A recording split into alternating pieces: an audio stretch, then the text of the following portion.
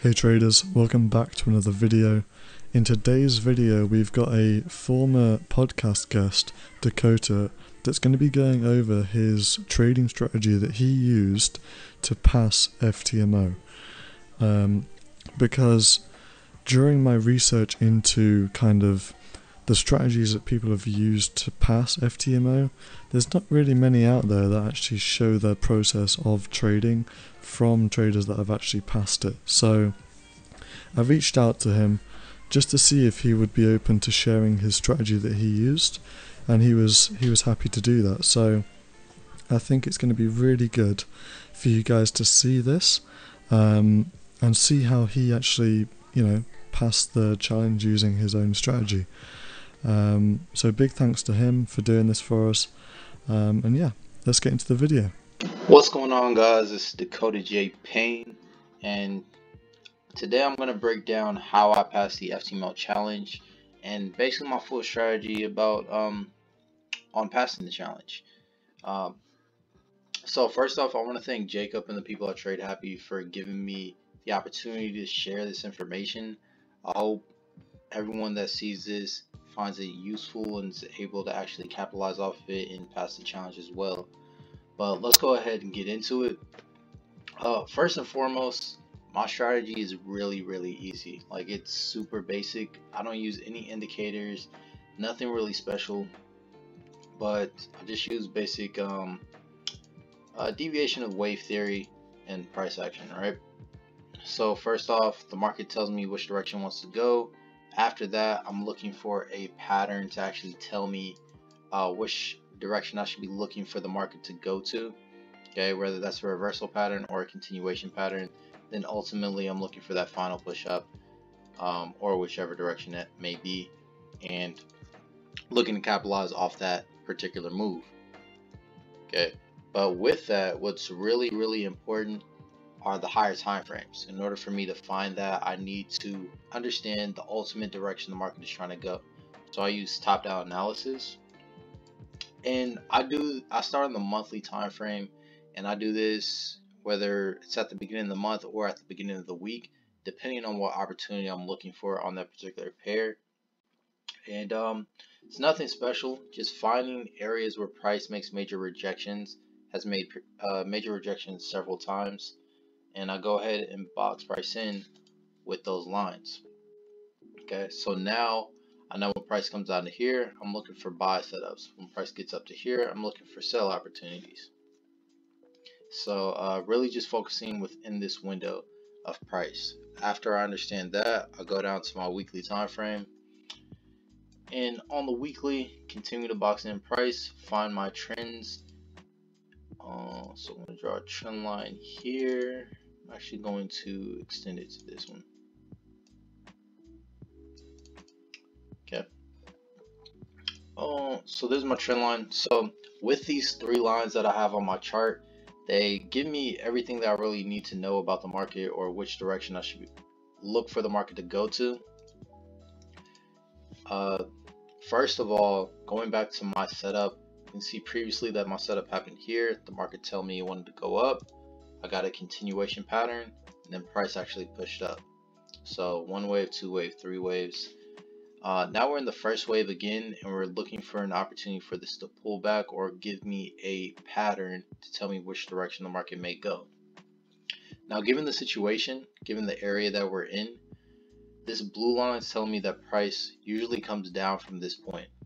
So if I know that, I most likely will see a reversal pattern in this area. And then I would look for price to actually come down, break my trend line and give me a sell setup coming back down to the bottom there.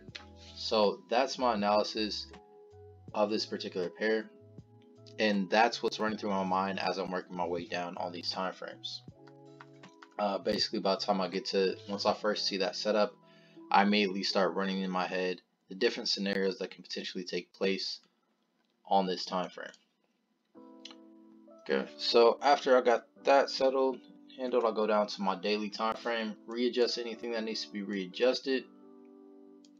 And if there's anything else that I need to add, I add it. But here it looks like I don't need to add anything we still pretty much see the same exact thing that we saw on the weekly so everything can just stay the same then I'll go down to my four hour time frame now by the time I get to my four hour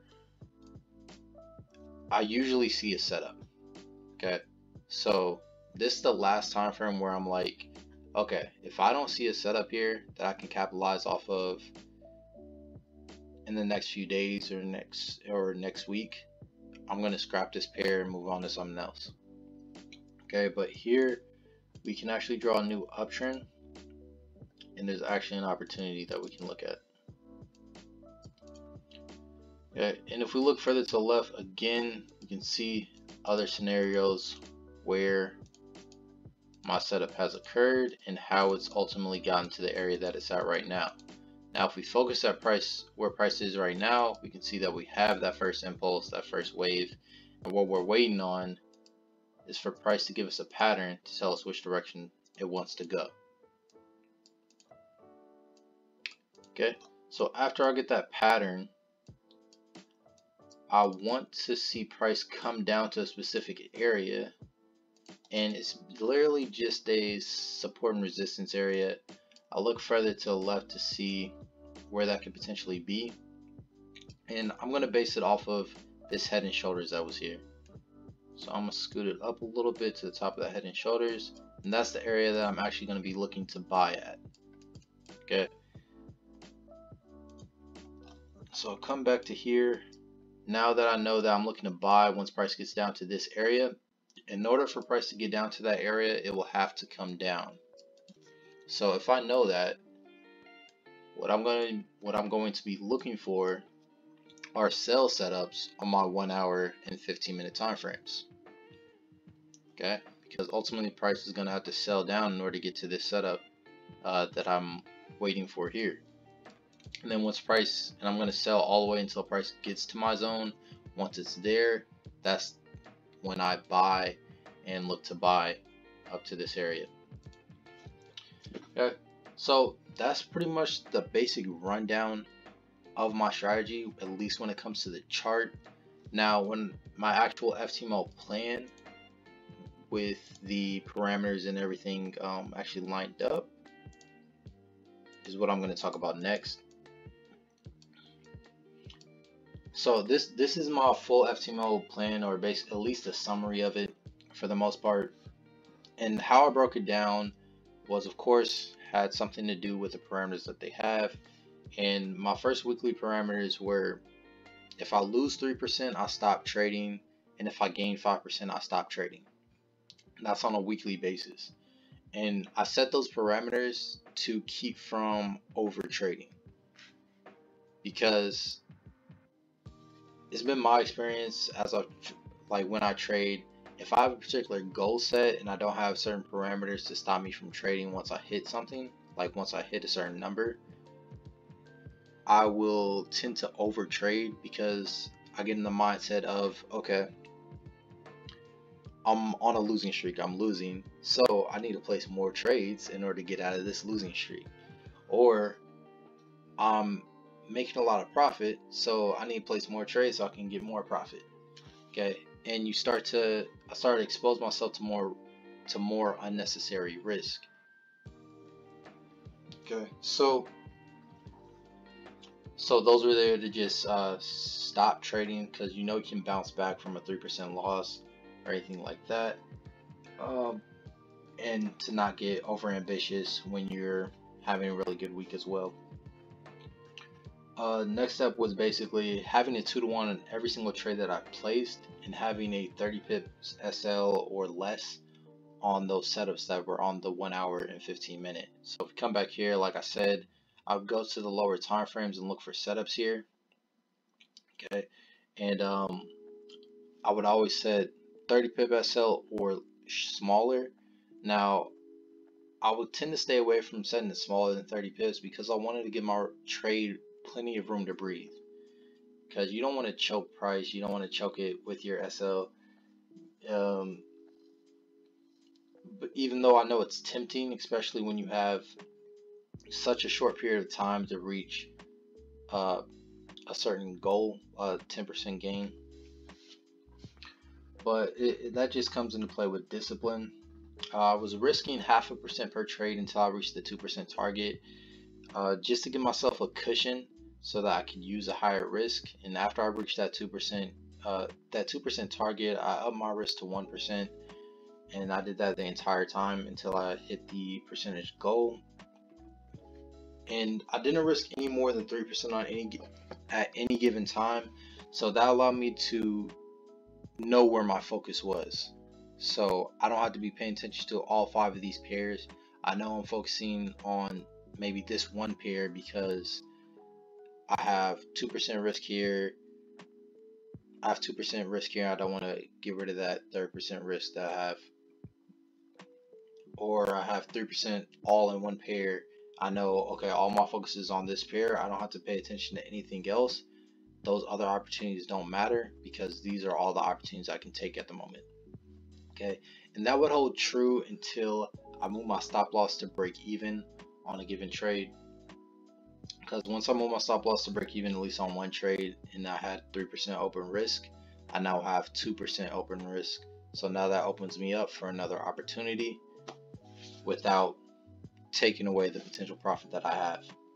Now ideally like when I actually trade my main account my personal account I don't like to move my break, uh, my stop loss but I did this to protect my downside so that I didn't go below um, or an extra assistant to help me not go below basically the break even point so I could get a free retry the next month if that were to happen if I were not to hit the 10% target but that was basically my plan in a nutshell now my actual experience with FTMO when I use this the it was pretty straightforward I didn't run into any complications with this at all. It was um I had a 3% gain the first week and then the first 2 days of the second week I had a about a 7.5% gain. Um and most of that profit was from UChef and then the other 2 to 4% was from CAD JPY. So I first start off trading three pairs in on this on the challenge and end up really only profiting from two. Uh, so it goes to show that you don't really need to pay attention to a ton of pairs to get a significant gain in a short period of time. And definitely, definitely, you always want to take your time with this. Like you have a little less than 30 days. And the challenge doesn't even start until you take that first trade. So definitely be patient when you go about it. Now, if for some reason you didn't understand my strategy or you didn't understand, completely understand or grasp the FTMO plan that I set forth, I am doing a boot camp starting September 6th. If you guys do want more info on that or even want to sign up, you can go to my website d4x.co and there's more information there. Also, if you want to reach out to me or keep up with me in my trading, you can find me on YouTube and Instagram at Dakota J Payne. And you can also join my Discord channel. Discord channel is called D4X, and I'll give him the link so that you guys can get access to that. But really appreciate you guys listening. I hope someone's able to capitalize off of this and uh, pass the challenge as well. Wish you guys luck.